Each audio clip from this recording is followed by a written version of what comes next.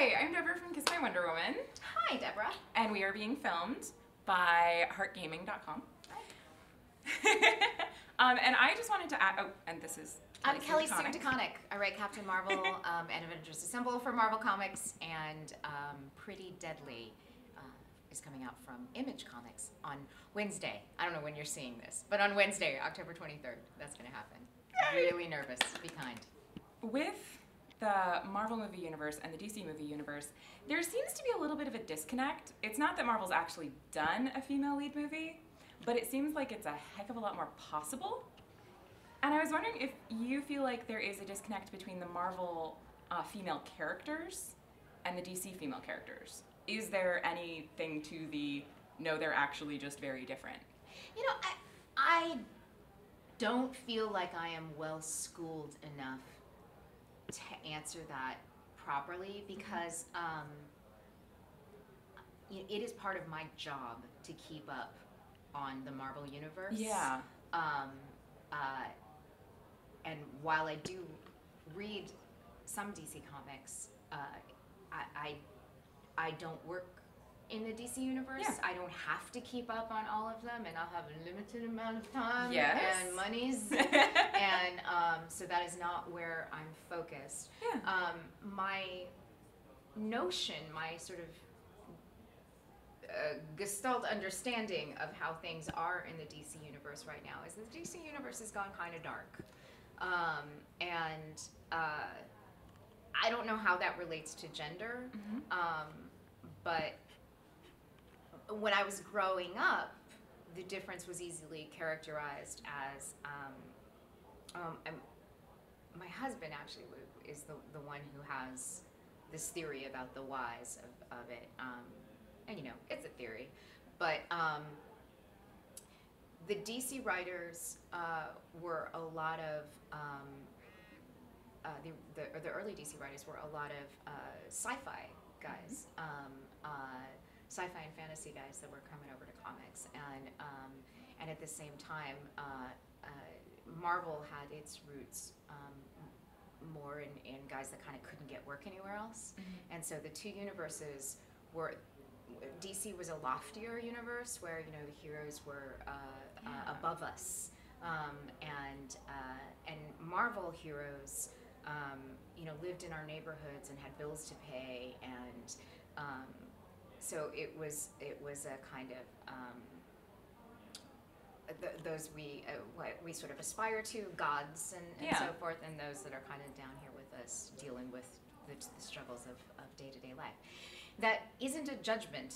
Um, uh, that doesn't suggest that one is better than the other. And I actually grew up reading um, DC comics. I didn't read Marvel until I was an adult. I mean, I had, I had a basic understanding of it. I watched uh, uh, the you know the Hulk, the Incredible Hulk TV show. I loved when I was a kid. Yep. And um, and, what, and the Widow, oh, Wonder Woman TV show. Oh, show. Oh, it was DC. Never mind. Um, but uh, but yeah. So um, it- these days, I'm not sure I could characterize it in that way.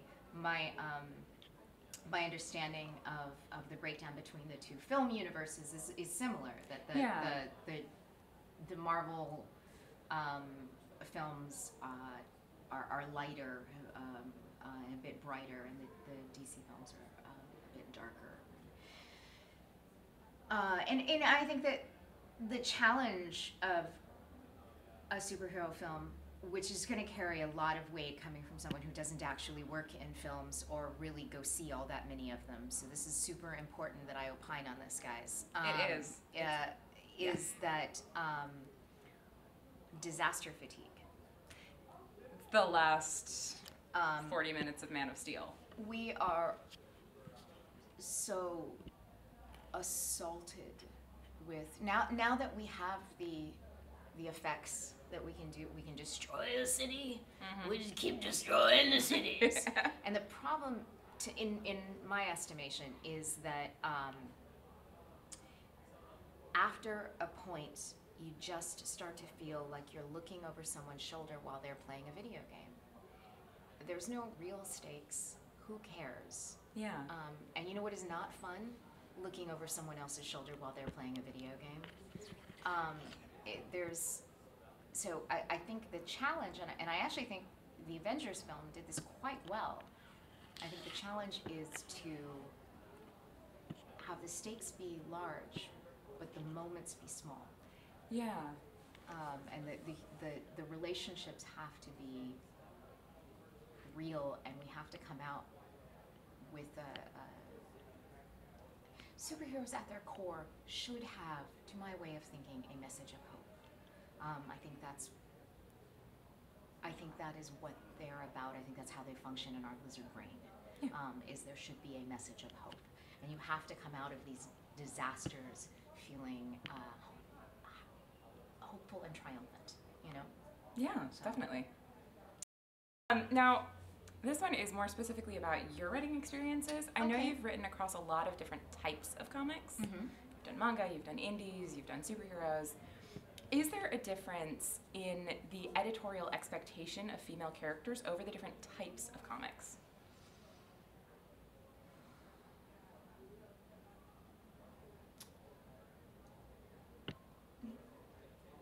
That would be hard to say because I have not had much of an editorial experience outside of superhero comics. Huh. Because, um, okay, so if you think about manga, Yeah. I, I, am not making any story choices in manga. That's true. Really. Um, I am writing the adaptation, so Right. I, I'm those characters are created. My my job is to get them across in a in a way that's fluid um, and that is uh, um, that, that honors the what what what I figure to be the intent of the original author. Mhm. So um, so I, I always say in manga adaptations, if I'm doing my job well, my hand is invisible Right. um, you shouldn't be able to see my style. And it's probably unlikely that I've accomplished that, but ideally that would be um, uh, that would be how it works. Um, and then, um, you know, I've done some very small anthology pieces um, that were non superhero stuff, but um, with most of them didn't have um, an editorial hand in the in the story formation. It, the editor was, you know, dealing with putting together a large anthology, so Mhm. it was mostly like deadline wrangling Yeah. and, and whatnot. Um, so. Uh, um, so it's, it's really hard for me to think of the only time i can think of having an editorial experience outside of superhero comics um, would be ian working with ian brill at boom on my cbgb story Yeah. so i have all of 14 pages uh, Mhm. to, to talk about there 14 11 something like that it was a short it, it was a short story um, um and ian's the bulk of what Ian did there was uh, keep me on the book when I quit, quit three times. So- oh wow. Okay then. I just, I just kept feeling like, like I don't have a story here. I don't have a story. And he was like, No, I really think you have a story. I really want you to have another go at it. And I was like, Oh man.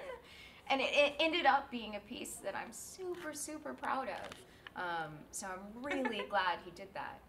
But um, yeah, I wish I had a good answer to give you. But like, No, I have an editor on Pretty Deadly, um, but because I own Pretty Deadly uh, with Emma Rios, my partner, Yeah. she and I uh, co-created this thing from the ground up, and our editor works for us. Like she gets her Oh, paycheck okay from us. Yeah. You know, um, uh, it's a little bit of a different. Um, so Sigrid is wonderful, and and you know she'll say, I don't think this is clear, or uh, you want me to do this research for you, or but you know.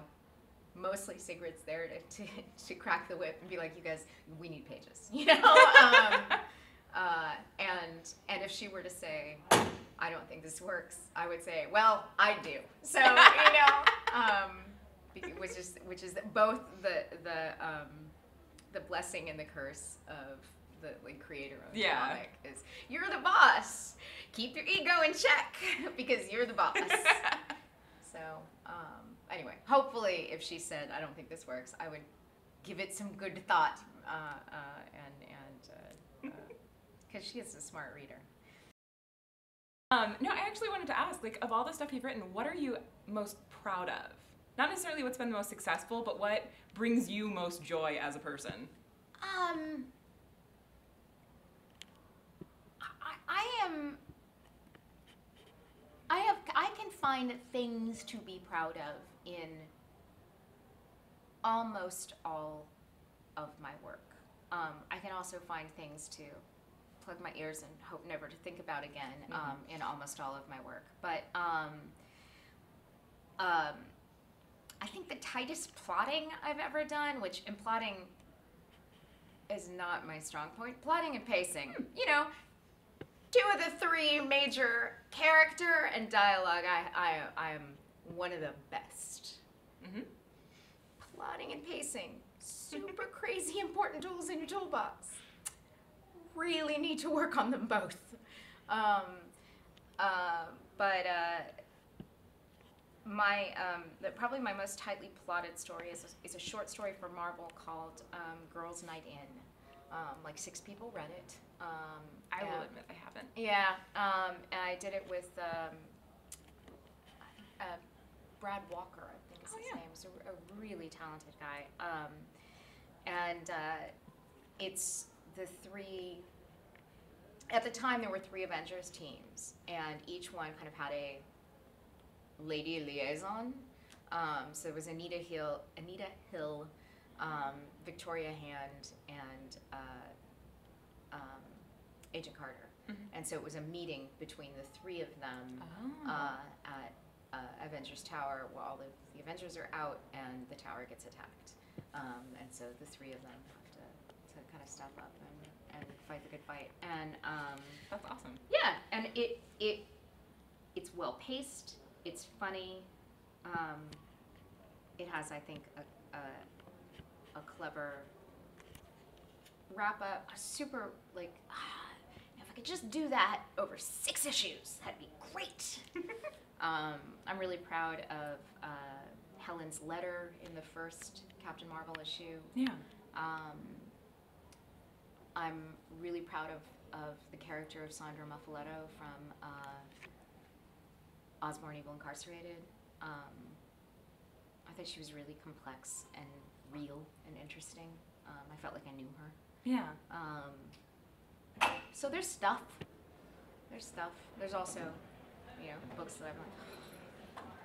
I killed a, killed a dog once. I'm not happy about that. Oh. Um, that was in a. Um, oh, what was that book called? Um, I think it was called Steve Rogers and the Secret Avengers, and it's a team up between uh, Black Widow and uh, and Agent Thirteen, and. Uh, and uh, like the, the cheapest, laziest thing that you can do to show how bad a bad character is is to have them threaten a child or an animal, and I and I killed a dog, and it was cheap. So. Though occasionally it's cheap not to kill the dog, like in War of the Roses with Kathleen Turner. They had to put a scene of the dog being alive in after the test audience saw a scene where they implied that they killed the dog and walked out. Yeah. We don't like that. We do not enjoy the killing of the animals. That's not a good thing. It's oddly specific though. no, I think I think that there's. I mean, we. So like as as enjoyers of of, of uh, as consumers of culture, Yeah. you know, I think that there is a, a there is this line with um, with innocence. Yeah. You know, and, and and children and animals are deemed to be innocents, and it's okay. Um, uh, to punish this with full agency, but you know, but we don't. Like, Yeah. like kids and animals can't be wrong. They can't, that is true. you know. And I think, I mean, do you think that relates to what you were saying earlier about superheroes as agents of hope? Um, sure. I, I mean, I, thi- I think that's. I, I think that is a really dark choice when you. Um, I mean, I, it's not that I don't think that you could write a story about the death of a child or a, a story where an animal was was hurt or tortured and and, and not have. You know, good work could be done with those. I think good work could be done about anything, really. But I don't know that superhero comics are the place for that. You know, I, Yeah. don't, I don't think that that's at least it's not where I go for. Or, you know, like um, um, you know, I don't want to see the lovely bones set in the Marvel universe. You know, Very intense. yeah. I'm sorry. Okay. Well, thank you so much for talking to me. You're very welcome. and I hope you have a lovely rest of the day. Thank you. Thank welcome.